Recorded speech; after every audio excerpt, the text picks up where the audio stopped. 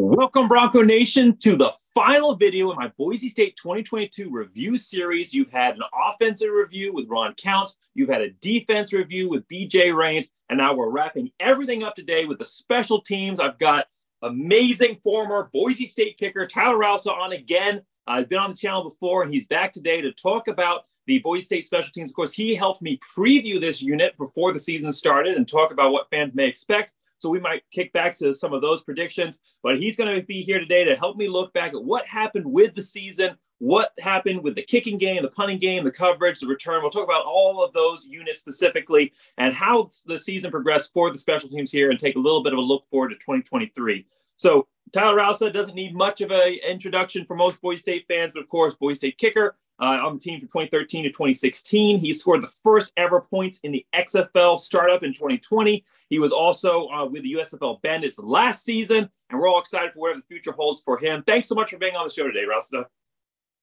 No, I appreciate you having me on again, man. I enjoy these always and excited to talk about this. All right, well, we're going to get straight into it then. I mean, they've got a lot to cover here, so we'll just roll right into the kicking game. So, looking specifically at the kicking game, of course, Jonah Dalmas, Boise State kicker, 23 out of 27, 85.2%, uh, long of 51. Now, this is how good Dalmas has been for Boise State that this almost felt like a little bit of a down year, and he kicked for over 85%. You know, he only missed four field goals, mm-hmm. and, it, it, and that's how good he is. So we're going to look at some some of the things that went wrong in some aspects, and that's kind of a trend for the special teams. If you look at the three units, offense, defense, special teams, of all of the three, the special teams had the most, shall we say, learning points, building points for 2023. But there are so many positives as well. So it's not just going to be all negative. But we will talk about some of those negatives here as we build towards some of the great things that also happened. You know, three out of the four misses were from mid range, the 30 to 39. We'll talk about that. Um, it was his lowest percentage so far just because of how great he has been first year, seven out of eight. Second year, 26 out of 28. There was some hope maybe he could get to that perfect record this year overall, of course, ending up just short.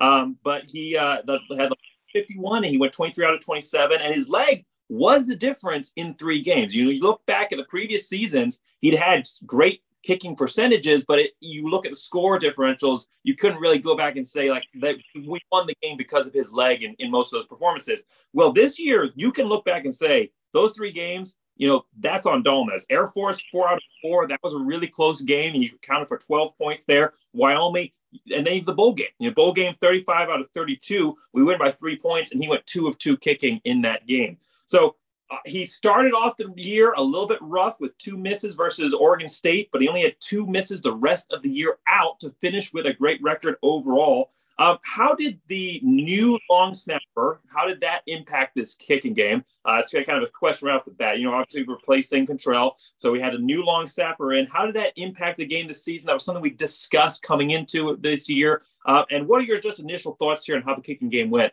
uh, for Boise State here with John Dalmas? So with the long snapper, he did awesome this year. I mean, stepping in um, in place of Daniel, you know, he came in if you did not really notice him, he did his job. You know, there's a couple here and there where he had laces pointed a bad way, this and that, but that's what you have a holder for to, to help you out with. But for the most part, he did a really good job. I think there was maybe one snap in uh, Nevada where, you know, it's below freezing temperatures, ball's a little slick. You know, it takes a little bit of a learning curve, but he did awesome. Um, as far as Jonah, what, you know, what happened with those kicks that he missed is he took those plays off um, you know, and and this is coming from you know I've I've helped train Jonah since he first even got to Boise State, so I know exactly what's going on with him at all times. And so you know the, that first game he just he wasn't there. He didn't come to play. He wasn't ready. He he just didn't put himself in a position to succeed. Uh, what happened in Wyoming? He took the play off. You know, uh, he treated it as you know I'm a little bit downwind. I can kind of just you know, go out there and put it in and it got away from him. And then all of a sudden he comes back, chip on the shoulder, and he's drilling balls. And that's all it is. It's all self air with Jonah, and it's it has nothing to do with kind of anything else besides him. Um, and he's, you know, we're working through uh, most of that right now. We're not taking any kicks off. You know, having a purpose with every single kick, having um, a target, having you know, just an overall, just a better approach with every single kick, no matter how far it is. And that's that's where he's going to improve big time. You know, come his super senior now. I mean, the kid's like 30 years old. Uh, but uh, and then overall, you know, the it even with James too. With James, it's you know we'll get into that, but he you know for his first year, I thought he did well. so obviously two misses there versus Oregon State. You know, you talked about it. It wasn't just him. I mean, the whole team seemed to be in a little bit of a funk there that yeah. they were the rest of the year. Um, but two misses versus Oregon State only has two misses the rest of the year. You know, how did how did Jonah Dalmas overcome those early struggles and and get himself in the right head headspace and mindset to go through and have a great year the rest of the season? Like you said, only two more misses the rest of the year.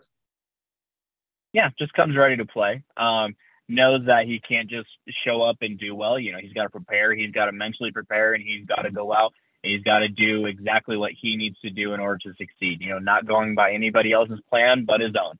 Because at the end of the day, what happens between his ears, you know, that's going to be his friend or his enemy, and he just found a way to make it his friend. That's all. Is there anything that jumps out to you, mm, reason wise, when you start seeing kind of those mid range misses? You, you come out, you're perfect from short range, and then you're perfect from deep. Um, is there anything that kind of goes into the mindset of kicking a mid range kick where you're kind of in between, guaranteed should make it, and maybe this is a little bit longer. Is there any kind of approach or different mindset that comes into those kind of right in between range shots? Yeah, it's and it's mostly you know that 30 to 39 range is where you know it's it's that kind of sneaky distance that can get away from it. You know, it's not one of those you know it's it's kind of like one of those NFL PATs. It's not something that you can just automatically put in. Um, you know, you got to really take your time, but you also got to really put yourself into the kick every single time and treat it as if, you know, it is, you know, that really close range where you know it's comfortable, but also, you know, give it that concentration and, you know, from 45 and out that you would put into every other kick. You know, it's, it's something that you, it does take some practice and it's, that's where you see a lot of guys miss is because they take those kicks off and they let one get away from them. Well, I know that he is a he's a competitor. You know, you see it every time he goes out there. You know, and I think that he's going to show that improvement next season. And again, when we're talking about improvements, he only missed four kicks. You know, I mean, there there are there yeah. are many field goal kickers across the collegiate landscape and NFL. You talk about extra points and uh, playoff games. There are there are a lot of kickers out there who would love to only miss four kicks in a season. So again, there, there's there's right. things to work. There is with every player every every year, but still overall. a great season for Jonah Dalmas. And I want to move on to because you mentioned it earlier, moving on to talking about the punting game here with James Ferguson Reynolds. He first year punting, Boise State, Aussie punter coming in, uh, first time experiencing America, the collegiate football game here at this level here in America um, at the FBS. 53 40.8 yard average, long of 61. He had seven kicks of 50 yards or more, and he had uh, 21 kicks land inside the 20 but it wasn't a smooth sailing all the way through. You know, some early struggles, uh, wasn't really getting the uh, so just some difficulty settling into the role. I think you know he had some early struggles there. Was replaced by Will Ferrin at one point in the Fresno State game. He ended up going out uh, kicking two punts for averaging 35.5 yards. But he came back, and I felt like as the season progressed, we saw him get more and more comfortable in that role in the in the special teams unit and overall and his kicks seemed to elongate a little bit. You start seeing the roll you know you start seeing getting the roll down the field from those kind of aussie kicks that you expect versus before. They were kind of the, the mid-range punt like you expect from an aussie punter but they were kind of just kicking up. And you started seeing those longer rolls but you saw one in the north texas game. Um, what you know when i look at players that developed this season and Taylen Green pops out as a player that you know has amazing progression. But aside from Taylen Green i actually think that ferguson for me is the most improved player on this roster from beginning of the year where he was a little bit of, of you know rusty settling in you know to being at the end of the year a true strength for this team. What did you see from him in terms of his development from start to finish this season? Uh, coaching coaching playing to his strengths. Uh, initially starting out the year they did not play to his strengths. They uh, had some questionable calls where they have him in the pocket doing pocket style, even though they're practicing mostly, you know, rugby style punts. Um, and that's what you need to do with him. You need to keep playing rugby, but you also need to give him the option to choose what he wants to do. And that's what they kind of started doing at the end of the year because they started playing to his strengths. So in the beginning of the year, you know, they are, you're basically trying to do too much. You're trying to, you know, kind of show off, you know, different talents instead of just doing what he does best. And that's where they started to figure out at the end of the year. And, you know, there's two punts that really kind of stuck out where, you know, we ran into some trouble. Um, again, I, I would put that more on coaching than it would be on James because it's, again, they were not playing to his strengths and they were not giving him the chance to really go out there and succeed where we saw, you know, like Taylen, where, you know, Koetter is playing to his strengths. He's rolling him out of the pocket. He's getting him, you know, short dump offs at first, getting him comfortable, and he's starting to, you know, he's starting to pick it up. And it was the same thing with James. You know, they, you know, put him in a weird position at first, but once they start playing to his strengths, once they start giving him the option to do what he needs to do in order to succeed, he was balling out. He was doing great. So you expect that going into next season, he'll hit the ground running a lot stronger than he. Mm-hmm.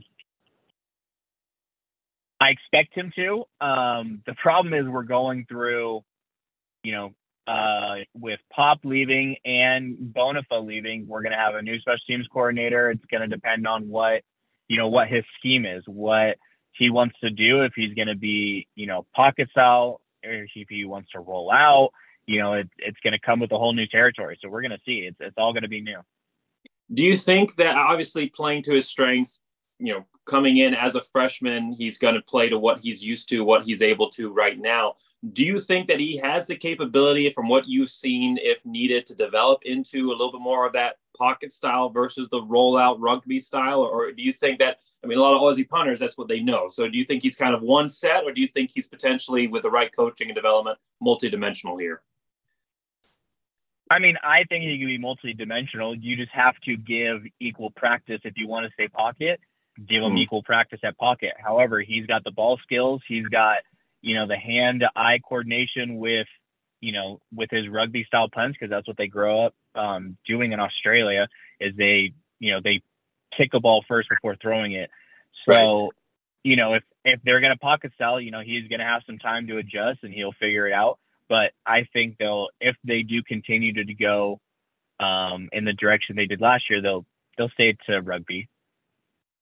Well, another element of the game that has some elements that is going to maybe change a little bit with a new special teams coordinator coming in is definitely the return game. If you talk about units that maybe maybe disappointed a little bit more than others, the return game was one that we didn't see any major uh, you know, plays out of this year. The, as far as kick returns, we had five different main kick returners there, three main different punt returns throughout the season.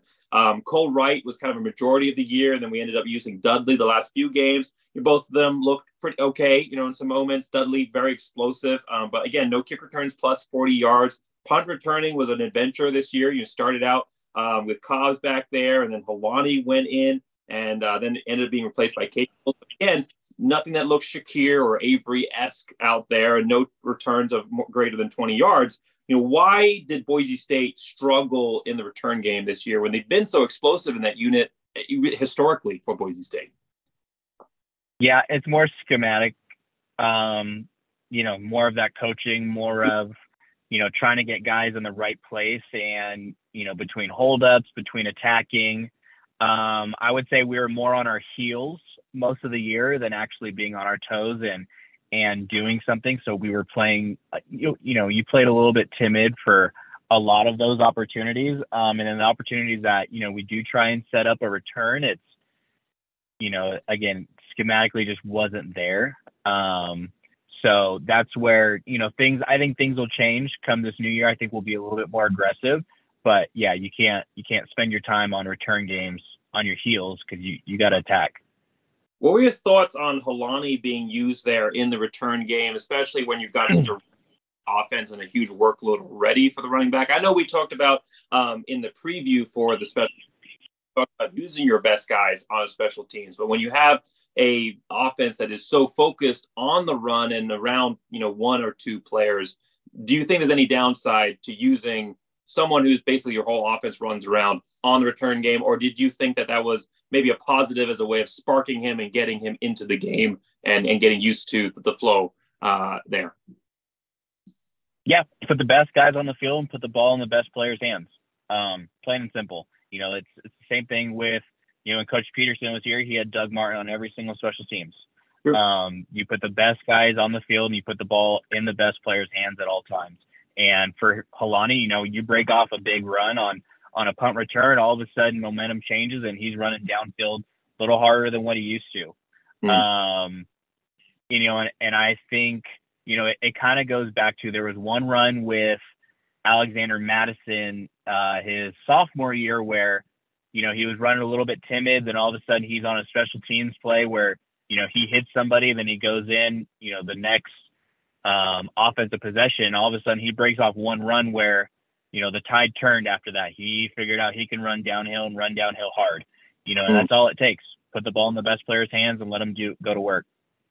Looking forward a little bit to this next season. Again, that's not necessarily the focus of this video, but is there? Uh, I mean, like I said, five different kick returners, three different punt returners, and we got some new faces coming onto the team this year as well. Um, is there a name that pops out to you as a potential uh, that could maybe turn this unit around, or do you think that it's more of developing the guys that are already kind of part of that unit this year? Yeah, develop the guys. Um, I think they they get vets more involved, and I think again they're going to be on their toes rather than their heels this year. And I, I think that's what it's going to be. Well, shifting uh, to the coverage unit here, looking at kind of the final section of the special view. Uh, one blocked punt, two blocked kicks, uh, but when you go beyond that to the pure coverage uh, of the returns themselves, not great statistically actually dead last in the NCAA, 131st in punt return coverage, um, averaged 18.7 yards per punt return allowed and three punt return touchdowns. And then 89th on kick return defense. So not as bad as punt return, but still, you know, lower half of college football, lower third. Um, gave up mm-hmm. 21.54 yard average per return and a touchdown.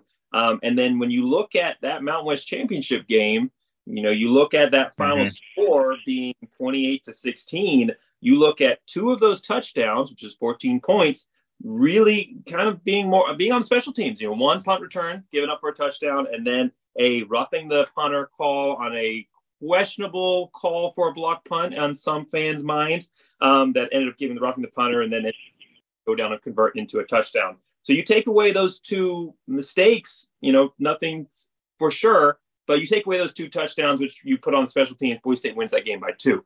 So you, you talk about again. I, don't want this video, these videos to be negative. I want us to build and look to the future. We've got to look at the learning points and see what we're building on here. So, you know, biggest factor in issues here, and how does Boise State fix these going forward into next season?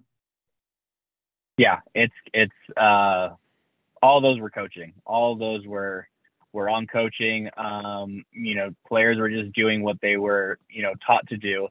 Uh, starting with the uh, kickoff team defending the return. Uh, you know, Jonah's got to get better with kicking touchbacks. That's good. That's a huge thing because you know the more chances you give a return team on the field, the more times they're going to schematically figure out a way to return it. You know, there's going to be you know, one or two blocks that are going to be made over and over again that's going to open up the holes no matter how good your return team is. They will the more returns you get, the more they're going to figure it out. So Jonah needs to figure out a way to get more touchbacks um, for the kickoff team in order to defend that because the more touchbacks you have, there's no yardage on your return team or on your kickoff team. Um, punt team, yeah, there's a you know, between consistently trying to set up a net and basically when you set up a net is you never want two guys stacked upon each other. So mm-hmm. when you do get, you want to form an umbrella, you know, around basically. So if you have a returner up top, you want an umbrella around him. No guys ever stacked behind each other because then you can have one guy that blocks another guy into one or two other guys and it's three birds, two birds, one stone. So mm-hmm. when you create that umbrella, you don't force anything outside. You keep everything inside. The returner either has to make, you know, a call of if he wants to try and cut, go outside, but you really wanted to get him inside because then ever after that, everybody can break down, you know, collapse in the middle. Uh, what ended up happening was we had four guys stacked on top of each other.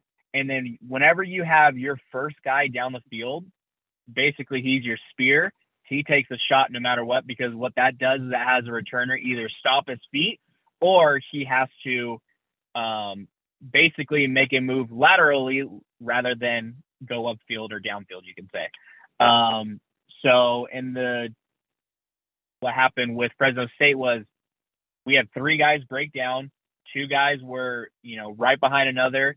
All I ha- all it took was one guy from Fresno State to put a block and it slowed down three different guys. Hmm. Um, mm. We had our long snapper basically break down instead of take a shot. So immediately he's out of the play because you have their best player on Fresno State who's returning the ball. He makes one cut, he gets downfield, touchdown. I mean, it's there are so many, you know, coaching points on that. That one play alone, it was it was out of control. Um, it was too easy. And then on the UTEP, um, you know, it starts with it starts with uh, you know, putting our punter in a position to succeed. And mm-hmm. then on top of that, you know, he hits a, you know, 3.2 hang time ball that goes 45 yards, out kicks his coverage. And then mm-hmm. we have guys stacking each other. And then it took three blocks um, on a total of six guys, I think. And it took us out in that, you know, nail in the coffin. So it's coaching, it's repetition, it's you need to do special teams every single day, plain and simple. It is the biggest part of the game. It is how you get advantages. It is how, you know, Coach Pete and Coach Harsin, you know, and then you have you know, Coach Riddle, Avalos was a part of it at one point. Um, you know, Coach Huff, you know, it's it's got to be something done every single day. Otherwise, you're going to get exposed like we did. I'll be honest, I didn't pay a super ton of attention about who exactly was on the coverage team units as far as personnel all the way across the board. But from your perspective, about putting your best guys, you know, not you know, a lot of times special teams is an opportunity for new guys to to get it, you show their show their face to the coach and show they can go out and hit. But uh, did you feel like Boise State was putting their top defenders on special teams, their top players on special teams this year, um, or was it more of a uh, kind of a secondary thought process? No, we uh we had a lot of our top guys on the field, and we had a lot of good special teams guy on the field. I mean, there is there is no reason why any of those should be, you know, returned like they were. Um, again, it's it's more so playing on our heels and on our toes. You know, we need to be in a more of a attack mindset rather than being on our our heels. Well, thanks so much for doing this video. This was a great wrap up, I think, of the last section here, going through the special teams. And again, it's kind of one of those units where there's a lot to talk about because it's, you know, offense, defense, obviously, uh, can be broken down to lots of different sections as well. But a special team is, is one of those units I think you talked about as well, the long snapper. Like if you aren't talking about it, it probably means it's a good thing. but it's also one of those things that kind of gets overlooked a lot of times and becomes such an important part of the game because it's going to impact not just the points you put on the board through the uh, field goal units, but it's also going to impact how the defense performs and how you position the offense that comes onto the field. You know, where you're getting your defense starting off from those punts or where you're allowing the offense to start off from the kick return coverage. So, you know, you are definitely a special teams unit is is the key to every aspect of how the offense and defense is going to end up performing in the end. So I think when you look at a team that had a great year overall, and maybe some moments where they could have shone Brett brighter, maybe got a Mountain West Championship game. You look at some of those little things that maybe didn't go right, and with the right focus and right uh, corrections, we can see something bigger and brighter this next year. So thanks everybody for watching. I'm excited. I'm excited for this discussion. I'm excited to do my preview series. Um, make sure you like, subscribe because we went through and we previewed the special teams in depth. We made some predictions that I'm just going to go over real quick because I'll tell you what, I wasn't necessarily on board with some of my predictions this year. I was definitely off on what I was talking about with Bachmeier. But as far as special teams go, I nailed it, and I just want to kind of trumpet it a little bit here. I said Dalmas would be used a lot, especially early in the season. Would end up with uh, three short of perfect, and four short, so just one off there. I said he'd be uh, the determinator for at least, or his leg would determine at least two games. Ended up determining three, so again, only one off there.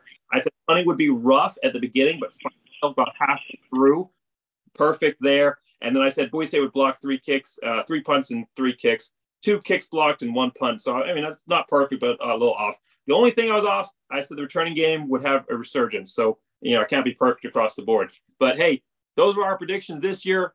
Uh, don't, uh, we had Rousish join me and we talked about those and we gave a great predictions. So make sure that you like and subscribe because I'm going to be putting together another preview series for this year and we're going to talk about Boise State 2023. We're going to go in depth all these units, offense, defense, special teams. We're going to have former players and back on just like I did last year. So thank you everybody for watching. Make sure you like, subscribe. Don't miss out on any of those videos. Thanks so much for joining us today, Tyler. I'll let you close out with any final thoughts here before we uh, wrap it up. No, I appreciate you having me on again. Always exciting to talk about this. Um, you know, there's a lot that needs to be done, but should be uh, should be good and exciting for next year. Well, thanks again for being on. Thanks everybody for watching the end. Let us know your thoughts in the comment section, uh, whether it be on YouTube or Facebook or Twitter or however it is that you're viewing this video. Thanks everybody for being with us today. Let's end it the right way and go, hey, blue.